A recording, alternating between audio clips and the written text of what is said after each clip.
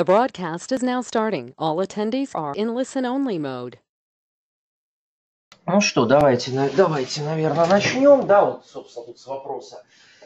Уже фактически я немножко начал говорить, эм, что за мероприятие, что, что на него навело, что действительно, вот, по крайней мере, это личное, я не говорю, что это возникло сейчас, это, наверное, существовало всегда со стороны бизнеса, бизнес в первую очередь крупного и в первую очередь, наверное, не айтишного, вопрос о том, а что делать с IT, да, как выстраивать взаимодействие, как выстраивать э, управление, да, это вот как всегда такая дорога, да, двустороннее движение. То есть то, что мы знаем лучше, и то, что более-менее структурировано там, в том же IT, в том же там, проектном управлении, э, как организовать там IT-сервис менеджмент, это вот как изнутри организовать, да. А вот как раз хотелось бы поговорить, вот действительно были такие запросы, э, были такие, ну не могу назвать проекты, но консультации, э, которые, когда вот э, топ-менеджмент хочет разобраться, да, и вот нужно эти две колеи свести, чтобы колея была на самом деле одна, да, и IT-сервис менеджмент со стороны IT, и бизнес с другой стороны понимал, что с этим делать, понимал, что с этим делать. Вот. э, Ну, давайте для порядка немножко так представлюсь, кто знаком, кто-то не знаком, там, коллеги, кто на вебинаре, ну, давайте на 5 секунд веб-камеру включу, покажусь живьем, в общем, в принципе, большого толка от нее нет, да, вот он я, всем привет. Э, Держать живьем, я думаю, не нужно отвлекать, э, вот, со многими знакомы, да, рад приветствовать. А, а, что хочу сказать, да, вот договориться сначала, наверное, всегда терминах, да. О, То, что, ну, действительно понятно, и как некая такая общая платформа для взаимодействия. Вот э, я когда курсы веду, я обычно всегда в начале там вот какие-то там базовые, когда еще там начинающий кто-то приходит, говорю, ну хорошо, вы что купите, когда придете в магазин, да? Вы купите то, что вам надо, то, что отвечает тем характеристикам, которые вам нужны, да? И в тот момент, когда вам это надо. Ну да, конечно, там бывает, что хорошо прорекламировали, да, там красивая реклама на ТВ, там на щите, вот купил просто потому, что вот, ну, что там, в бизнесе тоже такое бывает.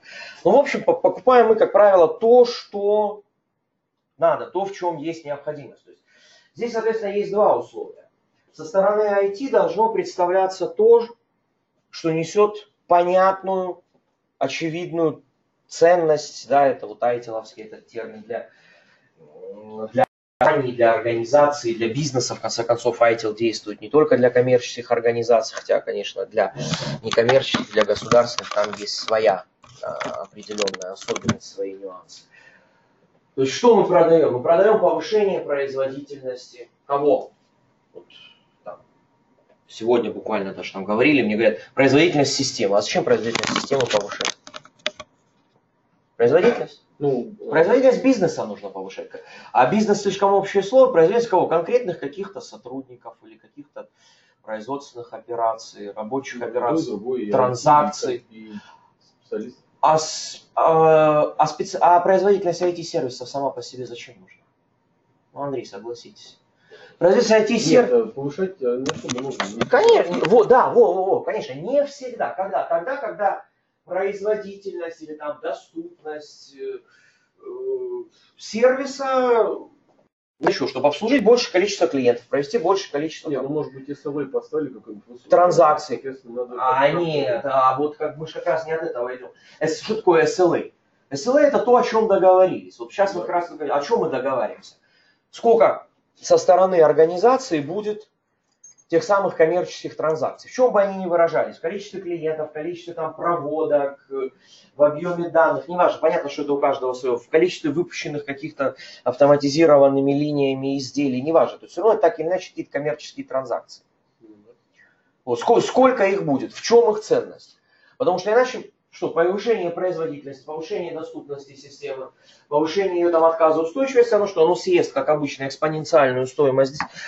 Да, там экспоненциально растущие деньги, а Не, ну, выхлопа особого, выхлопа особого на самом деле, в общем-то, что не будет. Сначала понять, какой параметр Нет, на самом деле даже не с этого э, начать. На- Никакой хромает, а как раз в чем заключается ценность, в чем может быть вот содействие для...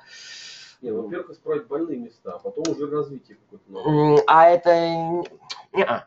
Э, Больные места могут не быть... Вот как раз это все-таки второй шаг. Коммерческие... А, э, Смотрите, это второй шаг все-таки. Первый шаг понять, что нужно компании. Потому что на самом деле, может быть, от больных мест, как вот вы говорите, может быть, от них можно избавиться путем вообще отказа. Или Да. они, или они вообще не, не являются... Поэтому первое и основное, это в чем состоит ценность. То есть, э, и вот здесь как раз э, шаг со стороны, э, шаг со стороны э, вот того самого топ-руководства должен быть. Э, я как раз э, хотел бы остаться в теме, да, не уходить там в нашу IT-область, хотя понятно, что она мне тоже ближе, но а, когда говорят, мы не договорились, мы там не понимаем какие-то требования от э, руководства, руководство, да, ну все эти стандартные фразы опять спустила какую-то там дурь. Дурь она не потому что дурь, а потому что мы не понимаем. Почему не понимаем? Да, вот та самая колея двусторонняя, э, канал коммуникации двусторонний. То есть со стороны топ-менеджмента донесение информации о том, в чем настоящая, в чем истинная ценность услуги. Она не всегда будет проявляться в явном, вот в абсолютно явном виде. Ну, вот банальные совершенно вещи. А, Компания хочет нарастить свое присутствие на рынке. Это одно. Компания хочет увеличить прибыль. Это другое. Компания хочет, точнее говоря, даже не сама компания, ее владельцы хотят э, выгодно продаться. Это третье. С точки зрения IT, это может быть три совершенно разных подхода. Ну вот, для понимания, в данном случае больше даже не столько айтишников, сколько, вот, я надеюсь, у нас присутствует кто-то из э, бизнеса. Если компания хочет нарастить прибыль, IT может что? Сократить издержки. Если компания, точнее, если IT сокращает издержки, один из логичных путей, например, какой? Вывести часть решений в облачную инфраструктуру, не нести собственные капитальные затраты, издержки, платить, ну, все облачные принципы. Да, ну тогда... Только за то сейчас, только за то, за что, э, чем используем и так далее. А если компания хочет, э, а, опять же, не компания, а владельцы хотят продаться, то им наоборот нужно нарастить свои капитальные активы. Да. И операционка уже, все, решение, даже одно и то же решение, неважно, почта, корпоративная система, чего угодно, оно уже будет строиться по совершенно разным принципам. Причем в данном случае, если не донести это до э, IT-руководства на начальном этапе, то, собственно, вот ценности, вот, ну да, будет дешевая услуга, ну и что? А вы хотели увеличить э, стоимость акций при выводе на рынок, при выводе компании на биржу. И так на каждом шаге, так абсолютно на каждом шаге. Снизить издержки, это на верхнем уровне, снизить издержки. Относительно чего? Снизить издержки удельные за счет увеличения оборачиваемости. Значит, для IT это что? Увеличение количества транзакций. Снизить издержки за счет уменьшения прямых затрат совершенно другой. Вот, собственно, здесь как раз разница, ну, вот, которую я как раз сейчас ты открыл, да, так, для демонстрации. А, э, и видна. Если это просто декларативное, ну или декларативное красивое слово, попросту говоря, значит, что при, э, приказное управление, то, собственно, что это будет. В общем, особо не будет, э, не будет понятно, что делать, да. Сделай вот таким образом, то есть говоря, сделай это, почему, зачем, каким образом делать, может оказаться совершенно не, может оказаться совершенно нерациональным. Сервисное управление предполагает как раз все-таки договоренность. Да, все, мы понимаем, естественно, что IT, когда находится внутри компании, это не равноправный бизнес-партнер, это, в общем-то, все понятно, но понимание вот роли для заказчика, его конечных целей, без него выбрать даже вариант решения. Ну, понятно, что в рамках нашего там короткого семинара я куда-то особо глубоко погружаться не могу, но как принцип, да, вот с теми же облаками он один из самых, э, самых, наверное, наглядных. Опять-таки, э, что более важно? То, что сейчас там, не знаю, часто бывает на слуху. Работа корпоративной почты надежность или э, какая-нибудь субъективная безопасность? Условно, разворачивать внутри компании, разворачивать в том же облаке. Реализовывать на решениях собственной разработки, на решениях вендора. Э, нету ведь нигде из этого однозначного ответа лучше, хуже. Реализовывать решение, ну вот сейчас там в связи с понятными э, процессами это немножко актуальность последние там года три утратила, но это же, я не знаю, там лет 10, наверное, звучало. И даже мне приходилось участвовать э, в подобных там, ну, проектах, когда, допустим, вне, что внедрять? 1С или там SAP. С точки зрения функционала 1С устраивает. С точки зрения некоего имиджа на рынке, опять-таки, стоимости цены, опять-таки, SAP. У меня был когда давно-давно, правда, уже 12 назад, не больше, там, лет 14 назад. Мы там для своих там сугубо нишевых решений писали потом по заказу э, клиента интерфейс э, к их SAP-системе. И SAP-систему они реально использовали ровно два раза в год. Э, один раз в год для общекорпоративных отчетов, второй раз, когда приходили аудиторы. Все остальное время работали на там, проприетарных маленьких системах. Вот отдельно даже вот им было выгодно заказать, там, я не знаю их соображения, с нами не делились, кстати говоря. Ну, общий принцип понятен. Вот что в этом может помочь? Как всегда, классификаторы, как бы это, в общем, банально не звучало, да, вот это классическая, кто знаком, айтиловская классификация типов IT-услуг. А, вот как раз она, ее имеет смысл донести-то и до своих руководителей, до бизнеса. Да? Э, что означает та или иная IT-услуга, в данном случае мы, конечно, говорим под, под сервисом, под услугой понимаем IT-сервис, IT-услугу, э, для компании. Тип первый это вот просто поддерживающие сервисы, причем даже не для всей компании, а для отдельных подразделений. Я вот чаще всего привожу в качестве примера какие-то там бухгалтерские подсистемы. То есть это не значит, что он не важный, он важный, но он не влияет на развитие. Он ну, обеспечит работу бухгалтерии, ну, пары смежных подразделений. Ну, продавцы еще там работают, смотрят там стоимость э, там, поступления денег и так далее. Там, ну, что-то вот такое. Там склад там что-то вносит. Все. Значит, в вложении инвестиции в услуги типа 1, понятно, они будут ограничены. То есть они должны по минимуму выпуска, э, свои функции выполнять и все. Ну, с типом третьим тут вообще все понятно, как бы тут даже, что говорить. Третий тип это IT как услуга, это просто когда IT-услуга продается. Тип 2, он, конечно, сейчас самый распространенный, самый сложный, э, но он и самый интересный. А, когда услуга является фактически неким таким скелетообразованием для э, организации, которая, ну, по, по сути, по своей не... Э,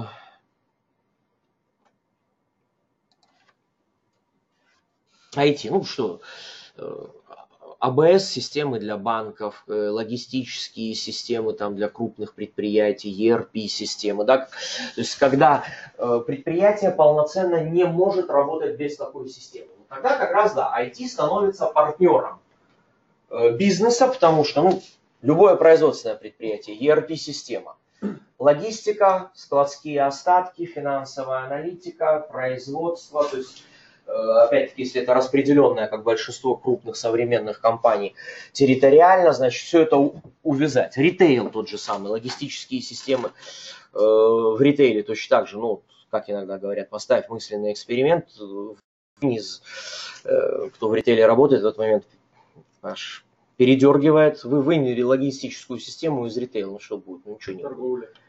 Да, останется, да, останется, да, вот торговля действительно там какими-то, да, отдельными там точками и все, то есть это уже вообще другой вид деятельности. Но вот тут как раз очень полезно такое управление, ведомое вопросами, вот вместе ответить на вот очень простые вопросы. Кто заказчик услуги, то есть кто будет ее потреблять и какой результат ожидается. В чем может э, помочь IT?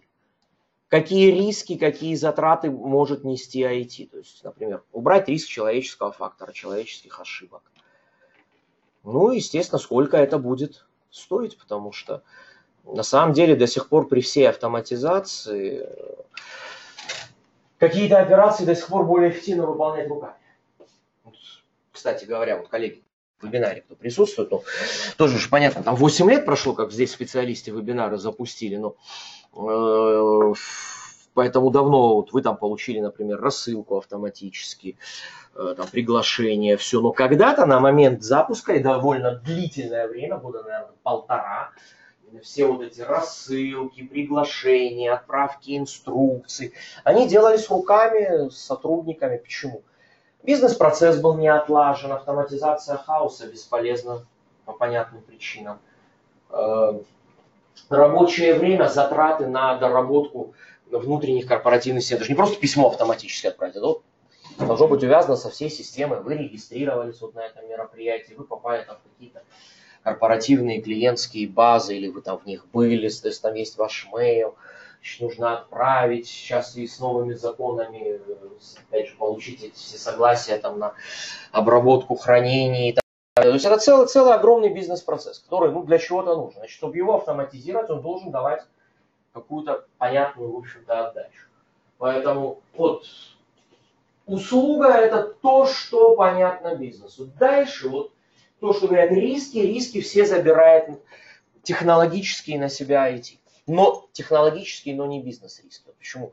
Я начинаю, что э, с того, что а что должно быть в оконечно, или какие риски убираются. Например, убираются риски человеческого э, фактора, допустим, в том же compliance. Ну, понятно, что один раз прописать процесс, допустим, тот же сбора, э, получения там, согласия на обработку персональных данных, это более надежно, рисков нарушения будет меньше, если этот процесс отладить, автоматизировать, чем каждый раз там собирать э, вручную и нести соответствующие, соответствующие издержки. По мере, естественно, накопления опыта, вот тоже какие-то улучшения. Ведь, ну вот, это послезавтра еще будем говорить, кстати, но это уже более айтишные вещи, кому интересно. То есть, э, как развивать услугу, то есть в рамках одной команды, в рамках вот вертикальной интеграции команд. Но, э, по сути-то, когда проходит развитие, пользователи тоже что-то вот разбираются, начинают давать обратную связь. Значит, опять мы говорим о роли э, руководства. Ведь, ну как часто бывает, вы нам должны сделать, да? Теперь, если руководство не побуждает пользователей давать обратную связь, что им там удобно работать, неудобно, где и как они теряют свое время, например, на каких-то операциях, вот Андрей, вы говорили, там исправить ошибки. Опять же, что считать за ошибку? Задержку на критически важном э, бизнес-процессе. Да, задержку, потери. Э, потому что, э, вот опять же, пример, который ну, был сравнительно недавно, там, может, где-то года полтора, там, по заказу бизнеса нужно что делать? Там, допустим, одна из важных функций сейчас там таргетирование аудитории, да, с тем, чтобы предложение направлять на таргетированную аудиторию. Значит, чтобы аудиторию таргетировать, надо это стратегия развития, да, предложение, как сейчас у многих бизнесов, да, там предложение узкопрофильных услуг, которые вот целевым образом направлены на очень такую выраженную аудиторию. Сейчас, по-моему, даже, ну, ну я не маркетолог, э, только это знаю вот именно со стороны там где-то постановки задач, там, разработки, э, что сейчас в мировом масштабе, даже вот если взять там, 7 миллиардов людей на планете, в принципе, при грамотном таргетировании можно таргетировать там, из тысячи, полутора тысяч человек которые вот объединены по очень-очень многим параметрам. Соответственно, цена такого предложения, э, ну, как-то говорится, цена лида, да, там цена предложения будет э, очень низкая. Потому что, ну, понятно, объем рекламы маленький, он очень целевой, значит, а, э, соответственно, возврат будет очень большой, потому что абсолютно целевая аудитория, да, не как там конверсия. Нужные уши. Ну, нужные уши, конечно, да, то есть не как там это вот конверсия, когда там считают от общей интернет-рекламы, там 3% это супер, ура, все молодцы, какие там 3%, вот сейчас там по нашим продуктам, ну, я уже там про свою компанию говорю, вот сейчас, э, значит, последние, как говорится, разборки были, 60% конверсия мало, значит, там все негодяи. 60% мало. Таргет 90% конверсии. Но это абсолютно узкоцелевая аудитория. Это, это снижает затраты. Да? Это вот как раз э, с чего мы начали. Один из стратегических подходов. Снижение затрат, увеличение клиентской базы за счет того, что обращение идет, вот да, Андрей, спасибо, хорошую фразу дали в правильные, в правильные уши. За счет чего можно снизить? Ну, вот другой, вернусь к этому примеру, с которого начал, потом ушел с него, что вот это вот таргетирование, значит, надо эту информацию как-то собирать. На сайте вводится там, даже не на сайте, а в CRM-системе, нет, не на сайте, в CRM-системе, вводится пара лишних полей, ну, чтобы человек запомнил, понятно, можно было таргетировать. Э, персонал, который работает с клиентами, говорит, что э, два поля, при работе с каждым клиентом два лишних клика. Два лишних клика – это потеря там что-то порядка 20 звонков в день. Всего на все. Два звонков в день потеря – это колоссальные потери. Значит, какая задача сразу? Уменьшить количество кликов, поменять, да, там, поменять интерфейс, чтобы можно было эту же информацию собирать меньше. Вот как раз ответ на второй вопрос. Все ли сотрудники знают о стратегии развития? Потому что иначе ну, собственно, то же, что и говорилось про IT. Да, конечно, Андрей. Я работал в Билайне, там э, Vision, миссия, э, было порядка 30 листов. Ее никто не читал. Ну, это уже вопрос донесения. То есть, конечно, документ больше двух-трех страниц, ясно дело, что никто читать ну, не будет. А... Это же как бы не, нами и не здесь придумано, да. Это, это уже вопрос донесения. Да, на самом, на самом деле, вот если так говорить, э, допустим, смотрите, э, вот, отчасти ответ на вашу реплику вот во второй части вопроса. Если у каждого сотрудника четкое понимание положений, потому что если говорить, так, каждый сотрудник на своем рабочем месте реализует свою часть задач, вот его часть в этой стратегии может отображаться и до, ну, отображаться, доводиться до него, да, то есть не все там 30 листов, да, вот тоже фактически таргетирование на определенный, э, на определенный персонал. Тогда сотрудники может давать предложения по улучшению. Вот, кстати говоря, в этом кейсе, про который я говорю, там реально ситуация развивалась примерно таким образом, что ну, опытные сотрудники э, клиентского пула, они, то есть вот эта информация про 20 минут, они ее сами посчитали. И сказали, так, ну стоп, у нас задача какая? У нас задача э, там даже не продать больше, там более сложные показатели, а обеспечить именно, то есть они понимали, ну вот на примере, допустим, вот класса, коллеги, кто на вебинаре, большинство, вы можете вот там веб-камеру посмотреть, а, у вас должна быть ссылка на класс, да, вот сейчас, ну понятно, сейчас у нас семинар, это ладно, а вот так вот, представьте, вот класс пустой, да,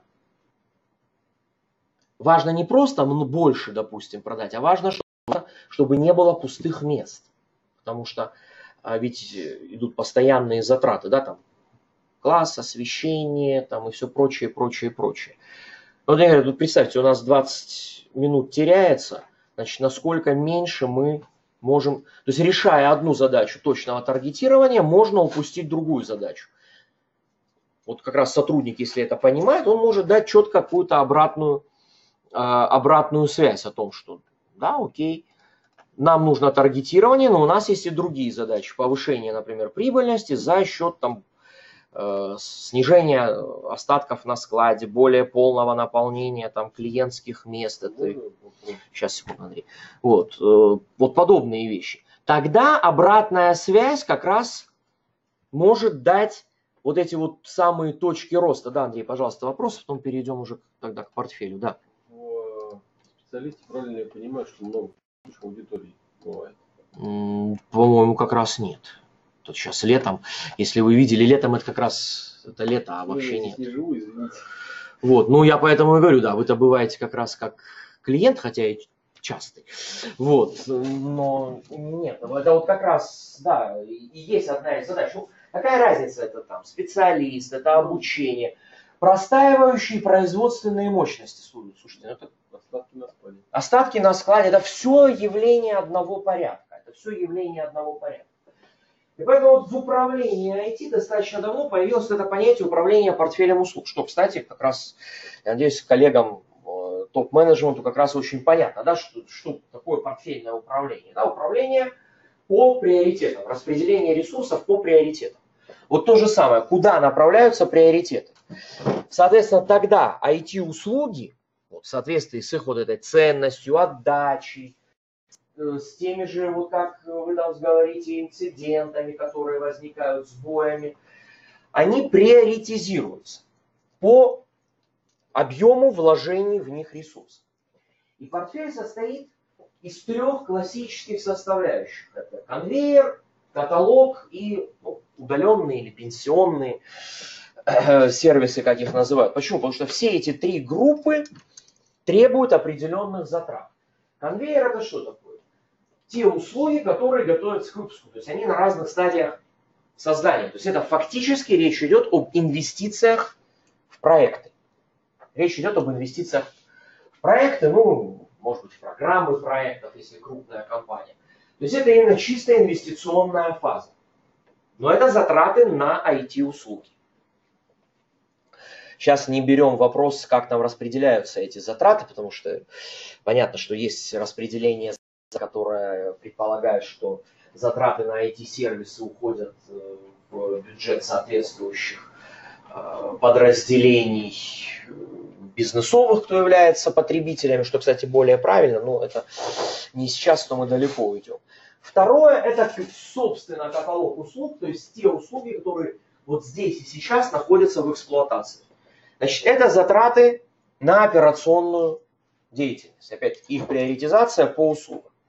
Ну, э, сервисы, выведенные из эксплуатации, это немножко более такая вещь э, специфическая. Почему на, на некоторые выведенные из эксплуатации сервисы все равно в течение какого-то периода времени придется, э, придется нести э, затрат. Потому что, э, ну, опять же, коллеги, кто вот, я не знаю, кто, по крайней мере, к тем, с кем мы знакомы, обращаюсь, то есть зайти, да, э, это может быть определенная сохранность инфраструктуры данных на период, э, пока возможен роллбэк новой версии. Это определенные нормативные регулирующие требования в целом ряде отраслей, э, когда данные, ну, информацию нужно хранить в течение какого-то определенного периода времени достаточно длительного. Да, закон Яровой, допустим. Ну, черт его знает, это, наверное, тоже, но э, есть вполне более, как сказать, нормальные и логичные вещи. Допустим, вот в, все, что связано с медициной, там минимум 10 лет. А по некоторым видам заболеваний там в, в, до 70. Частей для уже устаревших. Совершенно верно, да, это как аналог, да. То есть, э, ну, я почему про медицину, потому что когда работал там в страховании, с этим сталкивался. Э, кстати, а, кстати, вот здесь в образовании тоже там до 70 лет надо хранить там по определенным позициям информацию, данные. Никто же не будет из системы в систему при обновлении версии таскать. Нет. Но какой-то минимум инфраструктуры, там хранилища, там какие-то еще что-то поддерживать придется. То есть это все равно какие-то минимальные, но затраты, ну, с точки зрения финансового менеджмента, по-моему, даже нельзя назвать инвестициями, но все равно это затраты, потому что иначе... Э, вот, и, соответственно, вот продолжая этот контрольный список вопросов. Существует ли портфель проектов? То есть, что значит портфель? Структурированная информация о том, какие проекты по разработке ведутся, какой э, проект э, предназначен для достижения каких целей предприятия, стратегических, там, рыночных, прибыльности, финансовых и так далее. Есть ли анализ спроса на услуги? Ну, согласитесь, э, э, вот наверняка в любой компании, особенно в крупной, есть какие-нибудь системы, которыми уже забыли, когда последний раз пользовались. Да, начинают там пользователи искать чуть ли там не э, спецопросы делать из серии «Кто использует такое? Что в ней делаете? Расскажите». Да, ну, звучит бредово, но ведь есть такое. Есть такое. Значит, это что? Это кандидат как раз на выведение из эксплуатации, то есть на минимизацию затрат, а может быть и вообще на удаление этой услуги полностью. То есть, когда ведь говорят вот об этих ретайле, это же не значит, что все услуги, которые выведены из эксплуатации, они в этом решают. Нет, есть услуги там, где не надо хранить вот там данные, инфраструктуру, нет вот таких там требований. Ну, понятно, они выводятся, и все, они уже больше не существуют. Сановского формата на DVD и складирование в шкафу. Ну, а это тоже место, это тоже затраты, это затраты потом все равно проверять, что оттуда можно достать данные. Человек уволен был. Ну, а значит, э, это уже дурные затраты. И вот исходя из вот этих градаций, что это за тип услуги, первый, второй, третий, а, какие решают задачи, есть вот такие градации а, IT-услуг по их инвестиционной ценности. Услуги, ну так называемые RTB, которые направлены вот на текущее решение текущих задач, это вот как раз поддерживающие. Есть ресурсы, да, которые направлены на расширение да, э, организации. Ну, здесь написано расширение спектра услуг. Это может быть расширение спектра услуг, может быть это просто увеличение мощностей, открытие новых производств, филиалов там и так далее. Либо наиболее такие вот радикальные, это вот transform the business, это, соответственно, э, предложение каких-то новых услуг, принципиально новых услуг, которые позволяют организации выйти на э, новые рынки, но они же, в общем, как правило, являются и наиболее, наиболее рискованными, ну, как обычно, да. Э, Чем э, выше уровень прибыльности, да, чем выше уровень определенности, а венчур исследовательский, венчурные, они всегда высокорискованные. Соответственно, вот три градации э, инвестиционных. RTB обеспечивает текущее функционирование и надежность, но не дает роста. Grow the business обеспечивает рост, но такой как бы плавный, текущий, не взрывной. Э, TTB обеспечивает взрывной рост, а, но зато является наиболее рискованным. Как формируется обычный портфель? Обычный портфель, такая совершеннейшая классика менеджмента портфельного управления, это всегда балансировка портфеля, чтобы вот этот общий фонд ресурсов распределить так, чтобы и с одной стороны обеспечить текущее стабильное функционирование, ну, банально компания не вылетела с рынка, но и при этом вкладываться вот в проектирование каких-то новых услуг, которые могут э, позволить компании реализовать какие-то новые, ну вот как раз стратегические инвестиции, выйти на новые продуктовые рынки. Ну, собственно, чем сейчас очень многие компании занимаются. Тут опять что там далеко ходить э, за примерами. М, Да, взять тот же банковский сейчас бизнес, который сейчас себя все дружно стали называть фин- финансово-технологическими компаниями, да, когда, ну да, финтех тот самый, вот. да или опять же, ну вот, раз уж здесь присутствуем, большинство присутствует в режиме онлайна. Сейчас все привыкли, когда мы это начинали, это было достаточно новое, это новое было направление развития, и оно прямо конкурировало внутри компании, оно конкурировало с подходом открытия просто, например, новых филиалов, чисто вот региональных представительств. Вот, поэтому вот я когда занимаюсь там, ну, как вот, там, консалтинг, компании, вот то, что я говорю, вот как раз э, выстроить вот, это вот, вот эту вот точку взаимодействия, но это, конечно, это не рядовой, не рядовые IT-сотрудники, это хорошо вообще, когда в компаниях IT-директор входит в состав совета директоров, тогда это, конечно, очень сильно упрощает. Когда нет, то вот кто-то от совета директоров, конечно, хорошая практика, если выступает таким куратором IT и как раз может вот доводить принятие решений. Э, Ну, не только принятие решения, а вообще все вот эти коммуникационные каналы и на их основе уже принятие решений.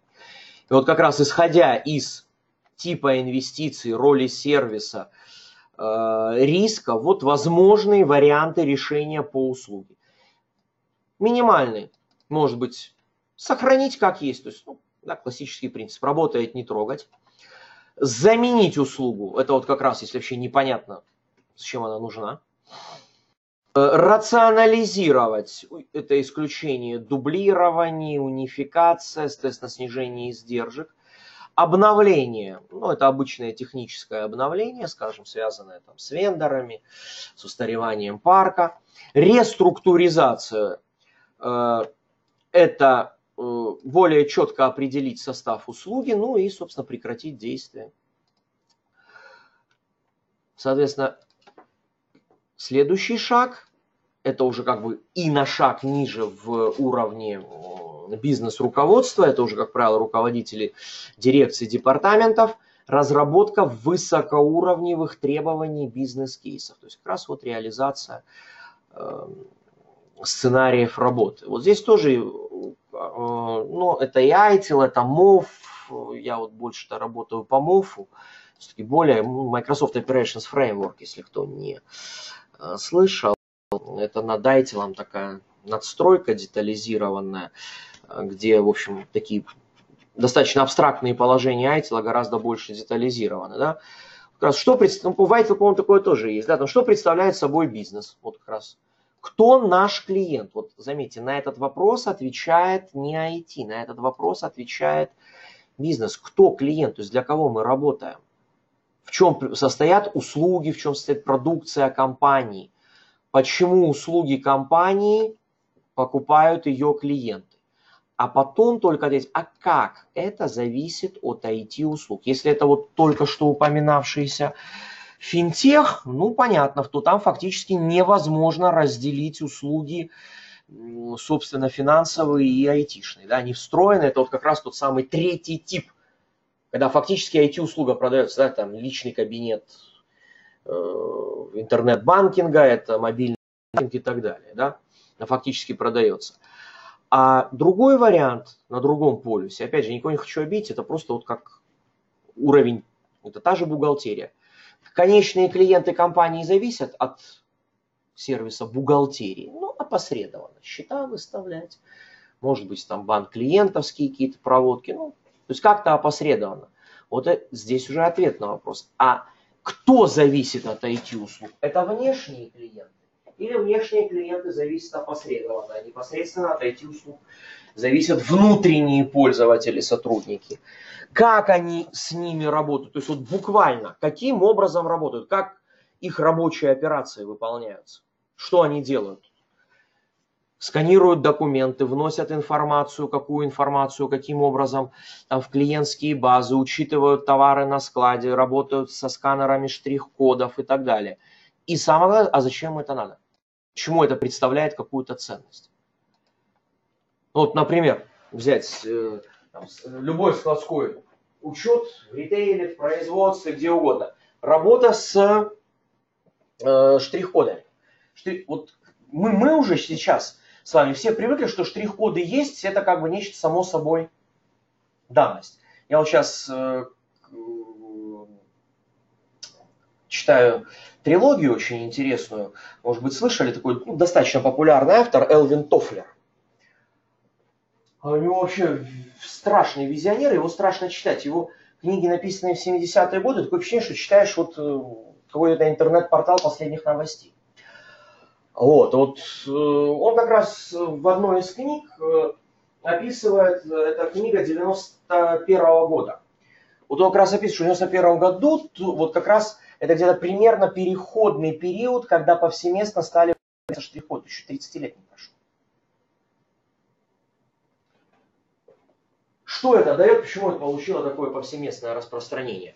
Потому что позволяет унифицировать логистические цепочки между не только разными подразделениями, но и принципиально между разными предприятиями.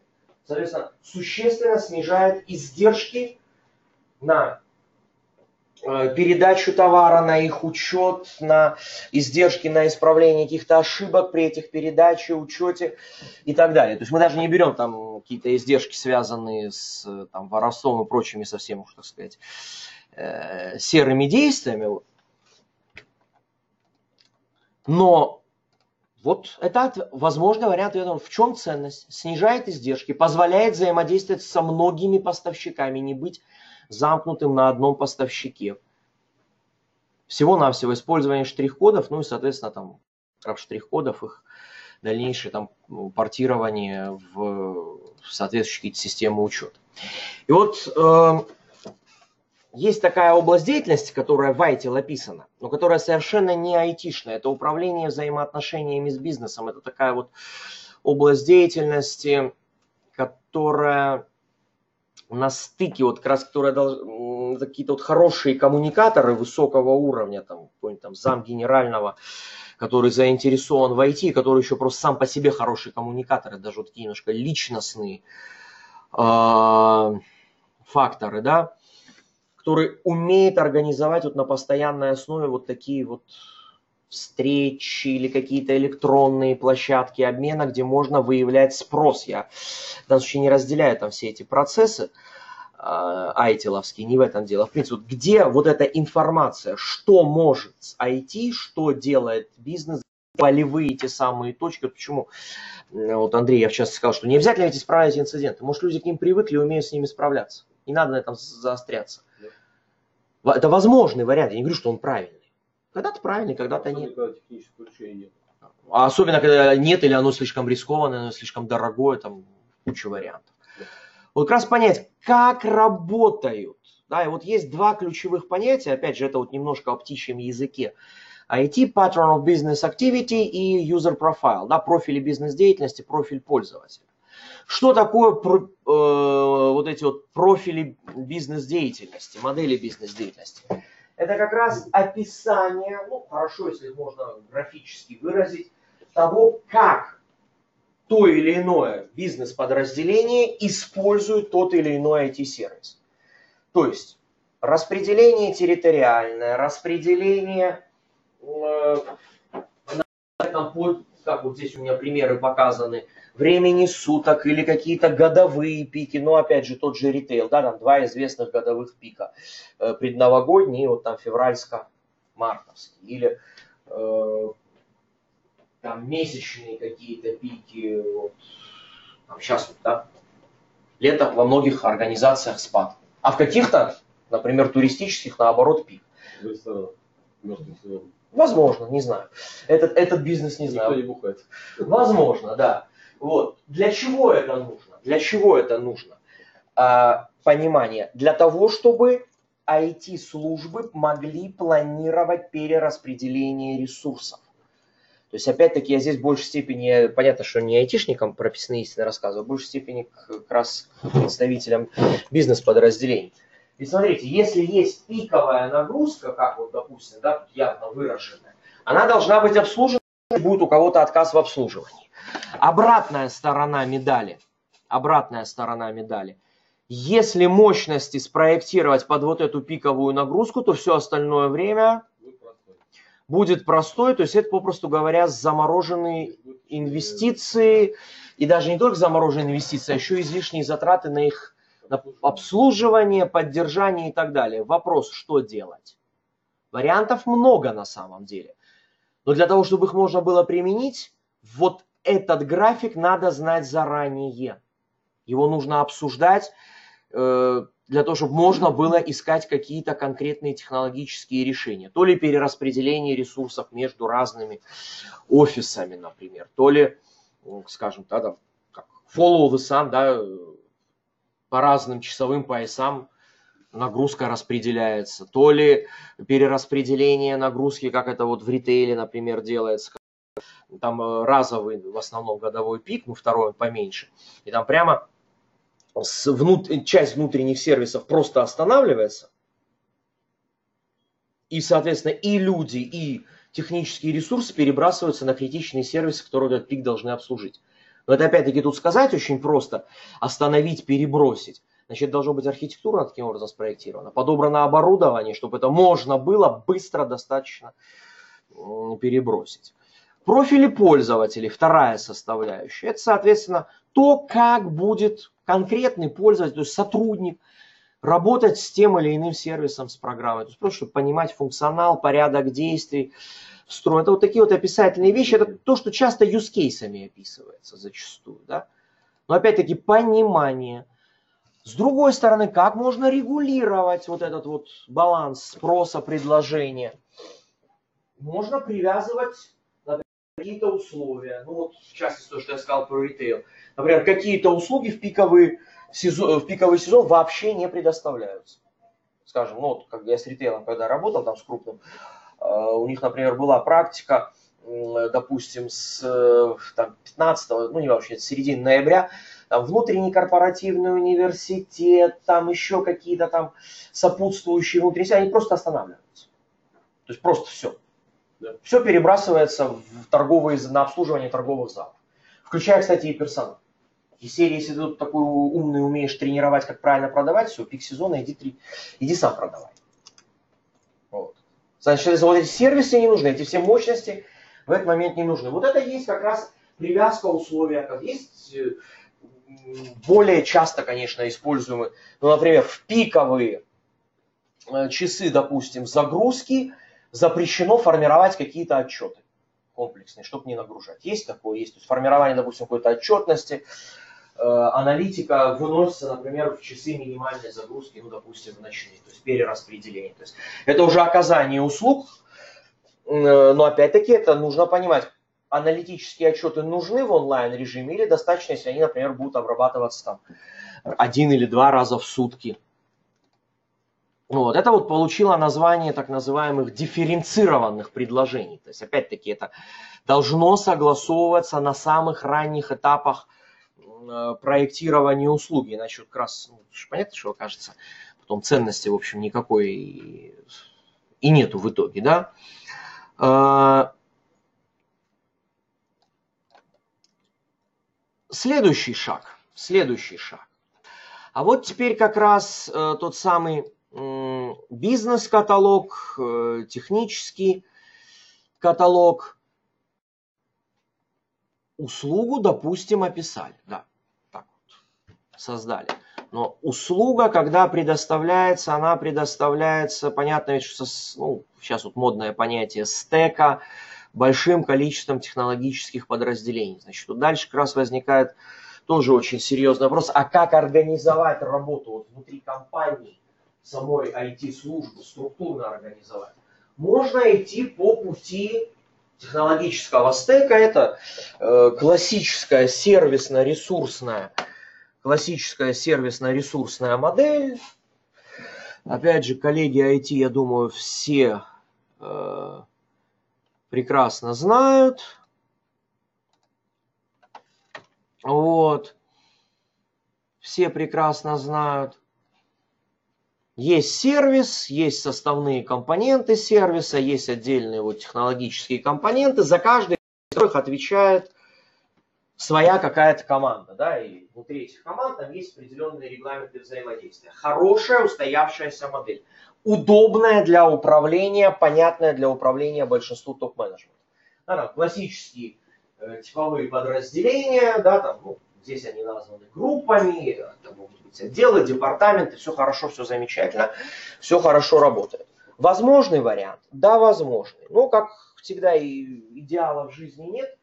Возникают, как всегда, как только мы говорим о функциональной модели, всегда между департаментами возникают барьеры. Ну, может, не такие уж кирпичные стены, как тут на красивом э, рисунке нарисованы. Определенные барьеры, да, вот это как называют местечковость, да, каждый отвечает за свою функцию, это все пытаются решить через процессы. Это один из возможных вариантов. Другой вариант возможный, который вот как раз сейчас, э, скажем так, популярен, ну, правда, как все популярное, немножко, ну, да, мода, она всегда немножко так срабатывает. И в плюс, и в минус. Э, но это DevOps-культура. Кстати, вот хочу сказать, что э, в этом году новая версия ITIL библиотеки ожидается, что выйдет. Вот, соответственно,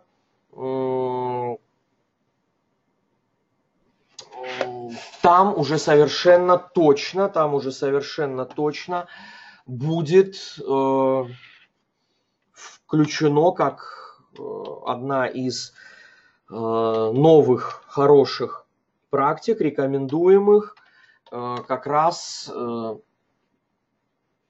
DevOps модель. Э, что такое DevOps модель? Это модель, когда вот как раз поддержка и э, поддержка и разработка объединяются внутри одной команды. То есть все, что поддерживает ERP, это все одна команда. Ну, для ERP это, конечно, звучит немножко наивно и глупо. Ну, э, как раз отсюда идет другая концепция э, немножко другая концепция э, микросервисов. В чем плюс такой концепции? А, а это, соответственно, немножко другая структура, это немножко другая структура э, и организационная, да, немножко другая организационная структура. В этом случае за все, за проекты по выпуску, за изменения в сервисе, за текущую поддержку отвечает одна команда, которая обладает всем полным набором компетенций. Да, то есть решается, в частности, вот эта вот э, известная проблема из серии мы вот тут выпустили, а, соответственно, как вы будете поддерживать, это уже нас не волнует. Но, правда, здесь возникает, э, здесь возникает и э, другая, здесь возникает и другая система барьеров. В этом случае минимизируются риски барьеров э, вот, вертикальных, но возникают риски какие? Барьеров горизонтальных между вот этими командами, между вот этими разными микросервисами. Опять же, не лучше, не хуже. Это просто две модели, каждая из которых лучше подходит какая-то одним предприятием, какая-то другим, но общее решение должно быть значит, своевременно реагировать на изменения, ну, в общем случае, как говорят, бизнес-требований, понятно, это обстановка внешняя, технологическая, регуляторная, рыночная. Э, и вот сейчас довольно модное такое понятие, как э, реактивность даже, ну там по аналогии с Agile манифестом выпустили манифест реактивности, да. Вот, то есть приложение должно быстро расширяться во всех смыслах этого слова, и с точки зрения нагрузки, и с точки зрения функциональности, при этом быть устойчивым и управляться внеш, через внешние какие-то простые воздействия. Да? Вот тогда можно говорить о решении как раз быстрых задач для адаптации э, приложений, для адаптации сервисов к бизнесу. Ну вот, наверное, с учетом нашего ограниченного времени такая общая высокоуровневая информация. Теперь я с удовольствием готов ответить на какие-то ваши комментарии и реплики. Пожалуйста, коллеги на вебинаре тоже задавайте вопросы. Сначала там вот либо questions, либо чат. Вот, ну, так дам слово. Коллеги, кто в классе, пожалуйста, я, в общем, готов прокомментировать. Ну и, собственно, прокомментировать э, как раз, э, где мы вот э, здесь в специалисте погружаемся в те или иные аспекты, да, Э, как раз вот если посмотреть э, вот со стороны IT, да, вот управление IT-службы это взгляд, а со стороны руководства это как раз вот, вот как бы вот здесь мы такой пытаемся построить мостик. Это для классического как раз вот такого управления вертикально интегрированного. А вот это вот мостик как раз в сторону больше вот DevOps подходов. Да, вот где-то, кстати, да, вот он здесь. Вот, да, вот и вот. Продуктовое управление, как раз когда вся команда работает на один э, продукт. Э, в этом смысле, кстати говоря, даже не важно, это продукт внутренний или продукт внешний. Да? В любом случае, продукт, сервис – услугам. Все, коллеги, пожалуйста, комментарии, вопросы. Есть ли у вас курсы по управлению продуктом? Ну так только что ж показал. Да, то есть. Есть, конечно. Схема курсов. Вот. А схема курсов, она же, смотрите, да, ну если кто не, вот, я же ее не, при, не придумал сейчас. Э, лучше всего искать каким образом? на главной странице сайта, вот здесь слева вот этот э, каталог ну, направлений. Соответственно, вот направление, а потом через вот эти так называемые интерактивные путеводители. Здесь все ну, гораздо более вот структури, структурировано. Сейчас я масштаб чуть уменьшу, что весь не помещается. Да? Такой вопрос. Э, ну, вот, как раз. звонил менеджеру да, есть у нас курс, все хорошо, записывайте. но потом раз и выясняется, что это где-то ноябрь, октябрь. Ну, Андрей, к сожалению, да. А, Как всегда, лето. Как всегда, лето. Я даже примерно понимаю, знаю, про что вы говорите. Вот. Нет, на самом деле это э, К сожалению, да. Я знаю, что это может быть не самый. я Такой приятный вариант, но- про другое хотел спросить. Э, Есть такой товарищ Белайчук, вы слышали? Нет. АБ, не ПМП, ОРКРУ. Э, Нет, не- не- не- профессионалов по управлению бизнес-процессами. Там у них тоже курс есть по бизнес-процессам. У них все точно так же смещено на осень. Нет, ну это же, это же та самая сезонность э, бизнеса. Это же та самая сезонность бизнеса, потому что летом, э, когда сезон отпусков, э, какие-то узкопрофильные, они хуже пользуются спросом. Вот, поэтому, ну, к сожалению, это так, да, вот сейчас действительно такой немножко не, не сезон, потом все это вот где-то там с сентября все будет более активно, более активно Но при нарастать. этом Нормально, естественно, всегда можно. всегда-всегда.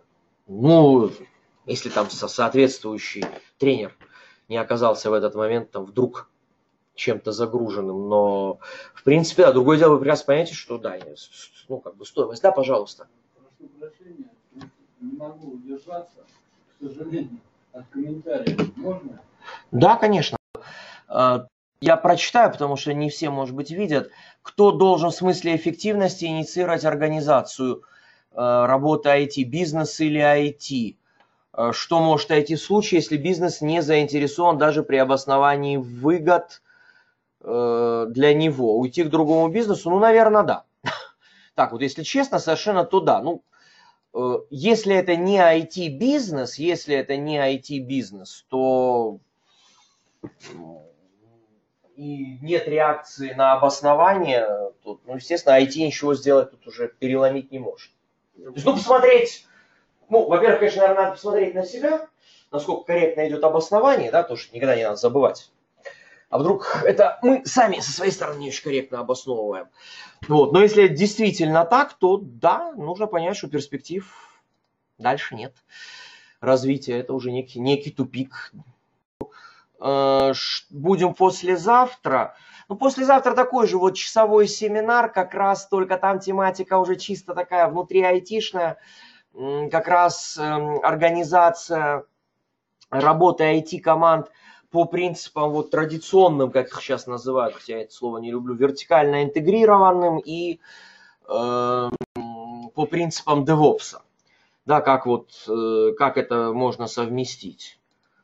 Вот. вот как раз то, что я сейчас вот обозначил, да, что организационно и так, и так можно, да, это вот для понимания как раз там руководства, там, как дробить эти структуры, орг-структуры делать. А, э, там вот мы как раз поговорим именно изнутри, более, ну, чуть более подробно, все равно, конечно, там в рамках часа, что там можно.